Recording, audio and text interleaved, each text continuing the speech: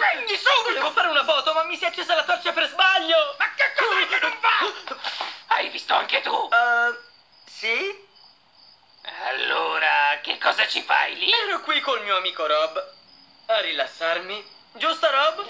Ah? Sei soltanto uno stupido! Hai rovinato tutti i miei piani di nuovo! Non posso crederci! Sei proprio la persona più insopportabile, fastidiosa, egoista che abbia mai conosciuto! Continua! Infatti, lo dico sul serio!